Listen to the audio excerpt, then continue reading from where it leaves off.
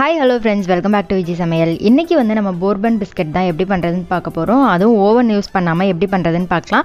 So வீடியோக்குள்ளே போகிறதுக்கு முன்னாடி இப்போ தான் நம்ம சேனலை ஃபஸ்ட் டைம் பார்க்குறீங்கன்னா ப்ளீஸ் சேனலை சப்ஸ்கிரைப் பண்ணிக்கோங்க. பக்கத்தில் இருக்கிற பெல் ஐக்கானே ப்ரெஸ் பண்ணிக்கோங்க. ஸோ நான் அப்லோட் பண்ணுற வீடியோஸ் நீங்கள் மிஸ் பண்ணாமல் பார்க்கலாம். ஃபர்ஸ்ட் ஒரு பெரிய பவுல் எடுத்துக்கோங்க. அதில் வந்து அரை கப் அளவுக்கு நம்ம பட்டர் வந்து ஆட் பண்ணிக்கலாம். பட்டர் வந்து ரூம் டெம்பரேச்சரில் எடுத்துக்கோங்க. எயிட்டி கிராம்ஸ் இருக்கும் இந்த பட்டர் இதை வந்து நல்லா பீட் பண்ணிக்கலாம் ஸ்மூத்தாக வர மாதிரி.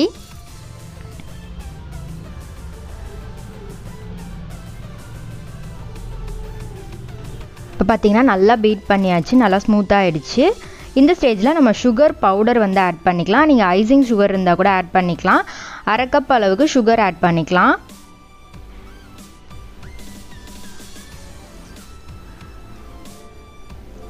சுகர் ஆட் பண்ணிவிட்டு நல்லா மிக்ஸ் பண்ணிவிட்டு நல்லா பீட் பண்ணிக்கோங்க.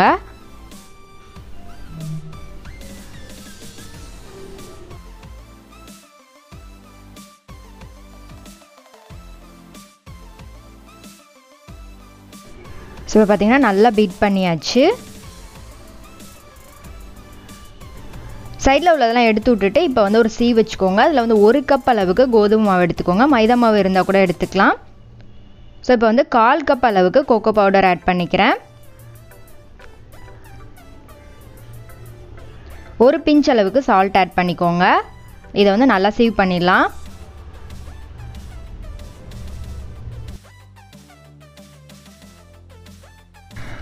இப்போது சைடில் இருக்கிறதெல்லாம் எடுத்து விட்டு இதை வந்து நல்லா மிக்ஸ் பண்ணிக்கோங்க. தேவைப்பட்டால் கொஞ்சமாக பால் சேர்த்து நீங்கள் மிக்ஸ் பண்ணிக்கோங்க. இதில் வந்து நான் மூணு டேபிள் ஸ்பூன் அளவுக்கு மட்டும் பால் ஆட் பண்ணியிருக்கேன். இதை வந்து நல்லா ஒரு சப்பாத்தி மாவு கன்சிஸ்டன்சியில் நம்ம பிசைஞ்சு எடுத்துக்கலாம்.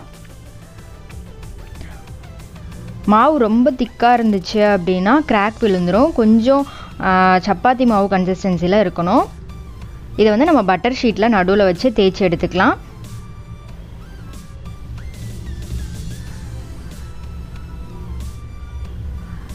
உங்களுக்கு கரெக்டான ஷேப் எல்லாமே ஒன்று போல் வேணும் அப்படின்னா மேலே வந்து ஒரு சப்பாத்தி கட்டையை வச்சு அமுக்குனீங்க அப்படின்னா எல்லா சைடும் ஈவனாக வந்துடும் இப்போ வந்து இதை நம்ம ஸ்கொயர் ஷேப்பில் கட் பண்ணிக்கலாம்.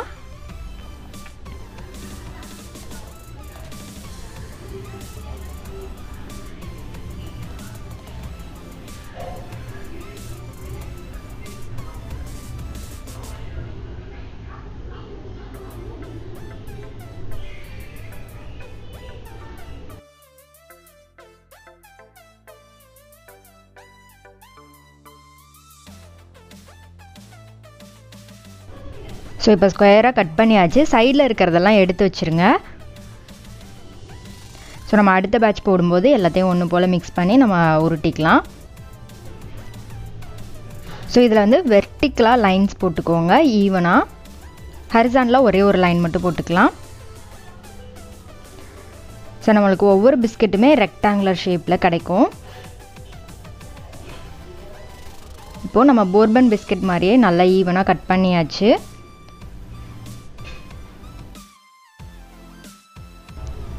இப்போ இதில் டூத்பிக் வச்சு நம்ம ஹோல்ஸ் போட்டுக்கலாம்.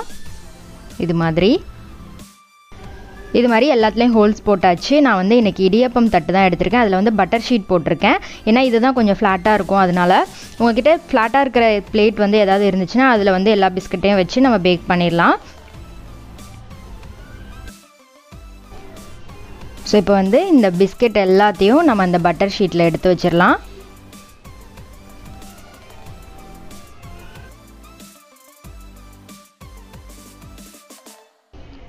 இது மாதிரி பிளேட்டில் வந்து எடுத்து வச்சாச்சு. இதே மாதிரி எல்லாத்தையும் நம்ம ரெடி பண்ணிக்கலாம். மேலே வந்து கொஞ்சமாக சுகர் போட்டுக்கோங்க.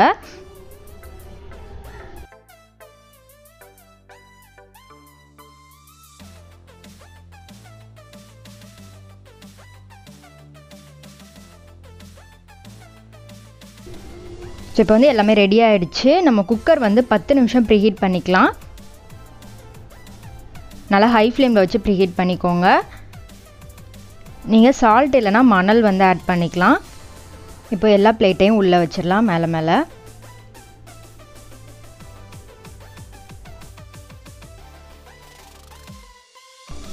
இந்த பிஸ்கெட் வந்து வெறுமனே சாப்பிட்றதுக்கே நல்லா இருக்கும். நம்ம வந்து இன்றைக்கி க்ரீம் வேறு வைக்க போகிறோம் செம்ம சூப்பராக இருக்கும். கண்டிப்பாக நீங்கள் வந்து ட்ரை பண்ணி பாருங்கள் இப்போ வந்து எல்லா பிஸ்கெட்டையும் உள்ளே வச்சாச்சு. இப்போ லிட்டு போட்டு க்ளோஸ் பண்ணி ஒரு தேர்ட்டி மினிட்ஸ் நம்ம பேக் பண்ண போகிறோம் தேர்ட்டி மினிட்ஸ் கழிச்சு எப்படி இருக்குன்னு பார்க்கலாம். ஸோ அதுக்குள்ளே நம்ம க்ரீம் வந்து ரெடி பண்ணிடலாம் உள்ளே வைக்கிறதுக்காக. அதுக்கு வந்து ஒரு சின்ன பவுல் எடுத்துக்கோங்க. அதில் வந்து மூணு டேபிள் ஸ்பூன் அளவுக்கு பட்டர் வந்து நான் ஆட் பண்ணியிருக்கேன். ரெண்டு டேபிள் ஸ்பூன் அளவுக்கு கொக்கோ பவுடர் ஆட் பண்ணிக்கோங்க. இதை வந்து நல்லா மிக்ஸ் பண்ணிவிட்டு நல்லா பீட் பண்ணி எடுத்துக்கோங்க. ஸோ இது வந்து நல்லா பீட் பண்ணியாச்சு. இப்போ வந்து ஆஃப் கப் அளவுக்கு சுகர் பவுடர் வந்து ஆட் பண்ணிக்கலாம். அவ்வளோதான் நம்மளோட க்ரீம் வந்து ரொம்ப ஈஸியாக ரெடி ஆயிடுச்சு நம்ம பிஸ்கட் பேக் ஆகிற வரைக்கும் இதை வந்து நம்ம ஃப்ரிட்ஜில் எடுத்து வச்சிடலாம்.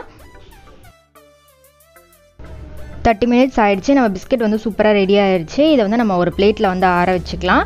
ஃபஸ்ட்டு வந்து சாஃப்டாக இருக்கிற மாதிரி இருக்கும். அதுக்கப்புறம் வந்து நல்லா கிறிஸ்பாயிரும்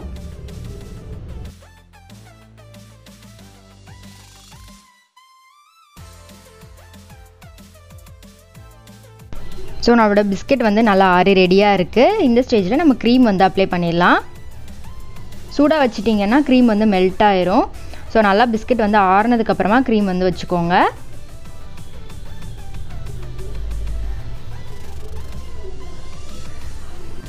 ஸோ இது மாதிரி க்ளோஸ் பண்ணிவிட்டு ஒரு பத்து நிமிஷம் நீங்கள் அப்படியே விட்டுட்டீங்க அப்படின்னா க்ரீம் எல்லாமே செட் ஆகி சூப்பராக ரெடி ஆயிரும் பிஸ்கெட்டு